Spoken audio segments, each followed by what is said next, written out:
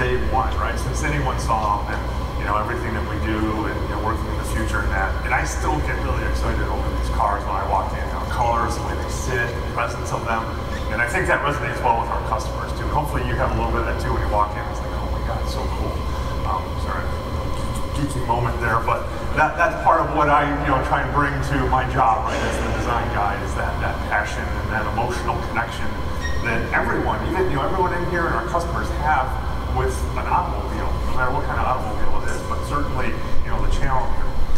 And, and part of that comes down, you know, my philosophy is um, good design is timeless design, and it's about proportion. It's about simplicity. And I think we've done a great job with this with this vehicle and doing that. You know, we don't have to rely on, you know, throwing latest, you know, gimmicks and you know things all over it to try and keep making it fresh. There's a simplicity in the form, a simplicity in the shape of the car that, that just keeps getting better and better. Um, and so we don't, you know, we're, we're, just, we're evolving that, we're refining it as we go. You know, the, the, the wide body flares, there's form and function. Certainly with every SRT product and Dodge product, those have to work hand in hand together. But the flares allowed us to put the wider tire on it. And, you know, to me, a wider tire wheel on any car always looks better proportionally anyway. So it was a, it was a good thing to, again, refine the, refine the car. Um, moving on to the hood, you know, to me, uh, Mopar, there's such a you know rich history of shapes, you know, functional pieces. Certainly, you know, our logos and graphics and names that go along with our past. Uh, but but I've started looking at you know what are things that um, you know I get inspired by from from our from our Mopar past, um, from all the brands, and where can we take you know where can we take the hood? Um, obviously, the you know the center aqueduct with the extractors, um, we've seen that. We've used that for a lot of years on a lot of vehicles, but we wanted to take it to the next step with it. And you know, I'm a big fan of you know touching a car and you know having shape. You know, the customer can when they wash it, they feel it, they connect with the car.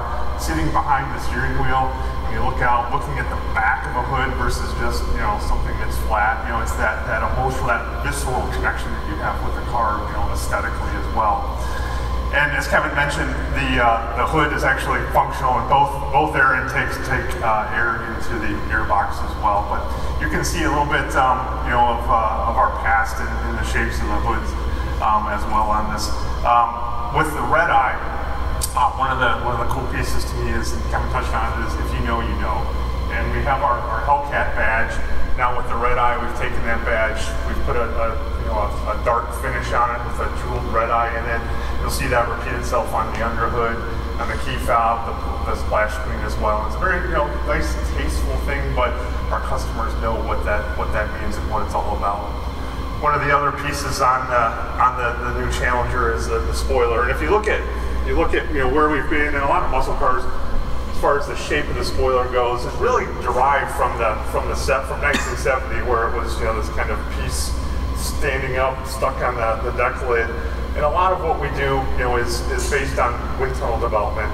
Um, in conjunction with the front splitter, making sure that the car has the right amount of aero downforce, not too much drag on it.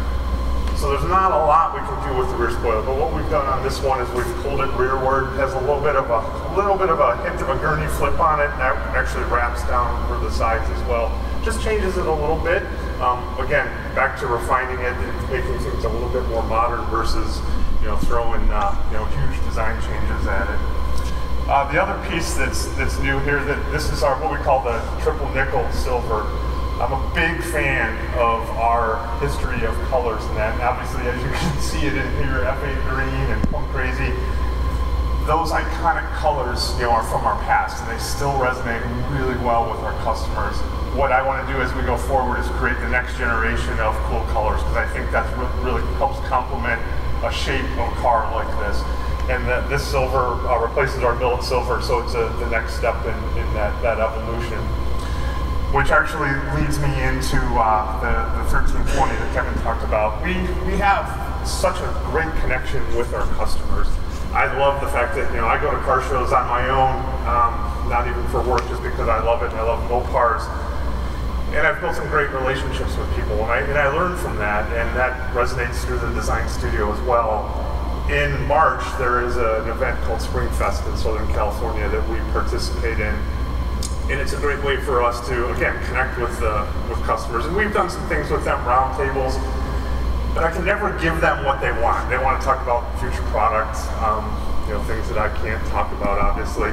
But so we said, you know, let's let's take some colors out there. Let's look at, you know, what are some future colors. So we took 15, we call them speed forms, uh, painted them some cool colors that we're looking at for the future, and let them vote on the colors that they uh, thought were cool. We actually did the same vote uh, at FCA as well after, and some of our top five colors, the, the number one color was this color here, which we call black eye.